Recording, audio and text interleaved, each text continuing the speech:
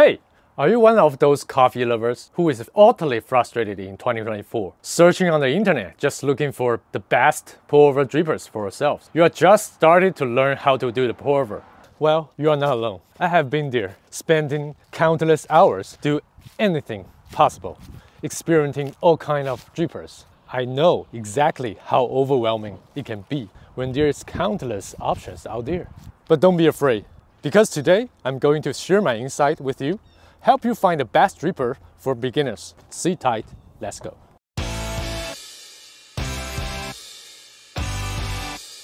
Hey guys, I'm Michael. Welcome back to my channel. If you are a crazy coffee enthusiast like me, hit that like button below and subscribe. After trying dozens of drippers, I have narrowed it down to 6 drippers that I believe are the most valuable to talk about. Let's go. Let's start with this origami coffee dripper. It has small size for 1 cup and medium size for 2 to 4 cups. It needs a dripper holder like this to make it coffee. This one is a real eye catcher, sporting a playful design with 20 ridges that not only look cool, but also optimize bloom and brew speed. Plus, it comes in a variety of colors, so you can choose the style you like.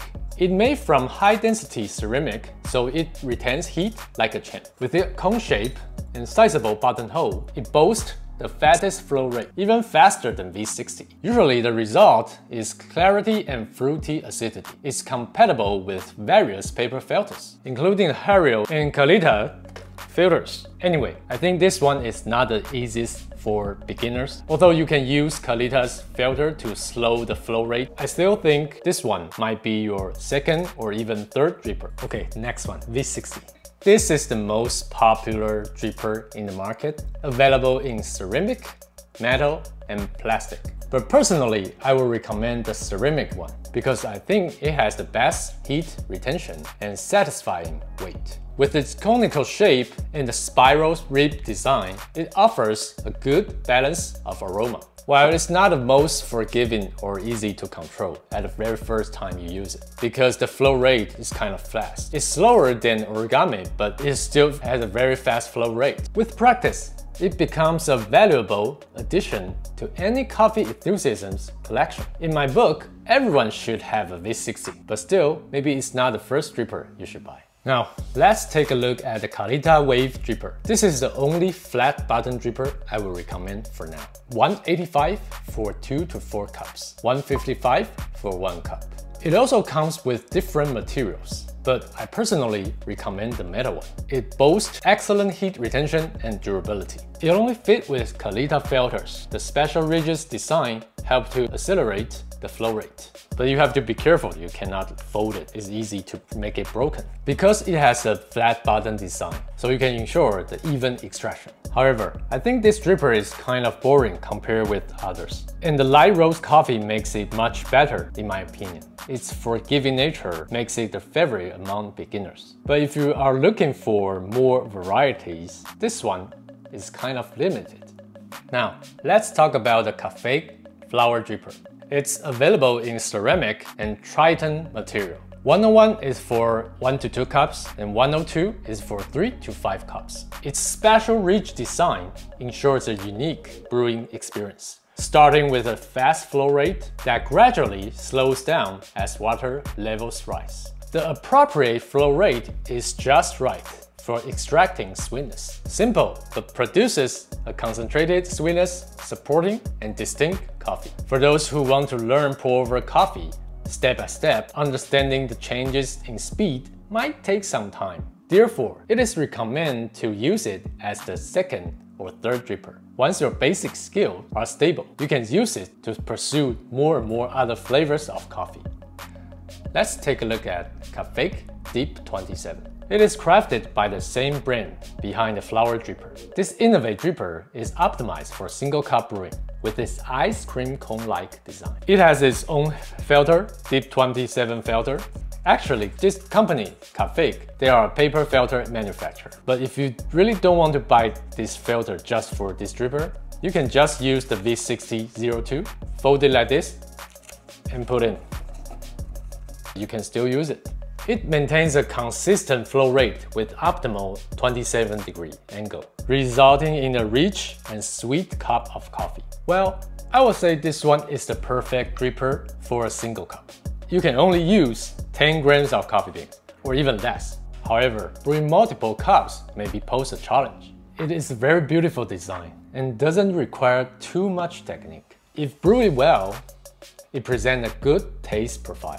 But the brewing method still needs to be practiced and adjusted. If not adjusted properly, it can easily result in bitterness, and acidity is relatively low. So I think this kind of be your second or third dripper. Last but not least, the Hario Switch dripper, a twist on the classic V60 with a unique switch button for controlling the water flow. It comes with two sizes. 02 is almost the same with the V6002. And another one, 03, is the bigger one. If you only use it for immersion brewing, this 02 is only produce one cup, and 03 is about two to three cups. The material is made of glass, pretty elegant. Hario Switch is similar to the Clever Dripper, offering immersion and percolation brewing methods. It is a great tool for practicing your pouring skills while learning different brewing techniques. Versatile enough for expert experiment with various methods. It is a fascinating option for beginners seeking a forgiving but precise brewing experience, a must-have for first-time dripper users. Therefore, I would say Hario Switch is just a good deal for beginners. It has its learning curve, for sure, but also has that forgiving immersion way to brew and practice a lot. Alright, the next part, I'm going to use these 6 drippers to brew coffee. I will use the same brewing method, single pour. 15 grams of coffee beans, same grind size, same temperature of water. The only thing that will be different will be the Hario Switch because if I use the same method, then it will be the same result like V60. So I will use the immersion brewing method on Hario Switch. I will pour all the water in and wait for 3 minutes. Okay, let's go.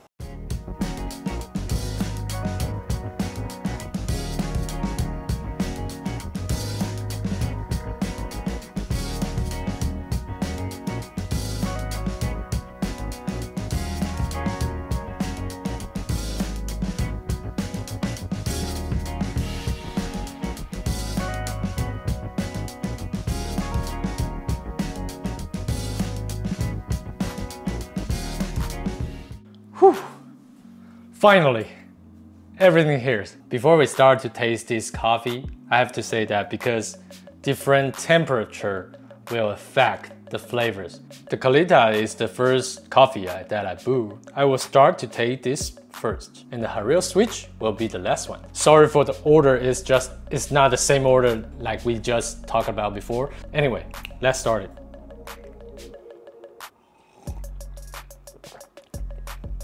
Mm. I was using medium roast Ethiopia Sidamo, um, but this coffee didn't show like the acidity and too much fruity flavors, more like nutty. So it's weird because like Ethiopia always has that kind of fruity flavors. But still, it's balanced, it's good cup, but not impressive, not surprising. Okay, second one, this flower dripper, 27 degree.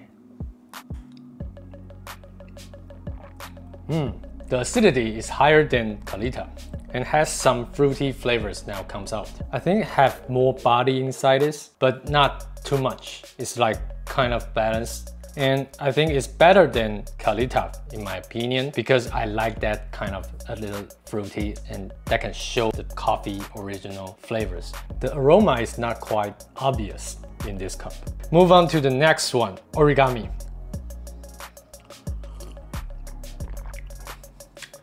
Obviously, the acidity comes out very quick, a very good quality of acidity, not very much body inside it. The nutty flavor is not in this cup. It is very clear and very good quality of the acidity. For me, it's a very good cup, but maybe for some of the people, this kind of acidity is too high, too strong for them. Next one, the flower dripper.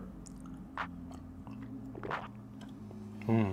The aroma comes out very, very quick, but in the aftertaste still has that body taste and kind of balance. For people just into the specialty coffee, you're just getting used to those acidity, you might be like this kind of flavor because the acidity is not too strong. Has some acidity, has some naughty notes inside it. So it's for now, this four of them, this one is the most balanced coffee. Okay, next one, V60. Mm. Yeah, I think V60 is very similar to the origami, but still have some different. The aroma and the acidity in V60 is not that strong like in the origami. There has many different layers inside the coffee. You will have those juicy notes in the very beginning, but still there has some chocolate notes and um, nutty notes in the end. But for the body part, the mouthfeel and uh, the full body, I think the flower dripper is better than V60. Okay, let's go to the last one, Hario Switch. Hmm.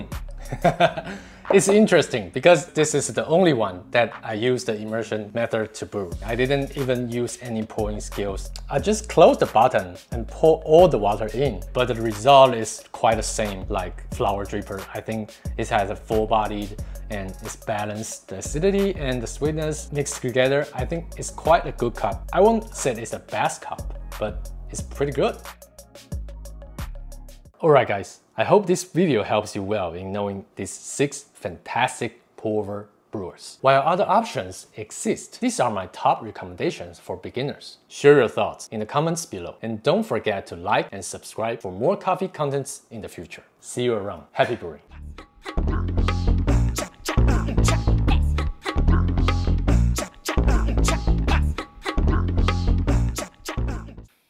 I think I would choose these three.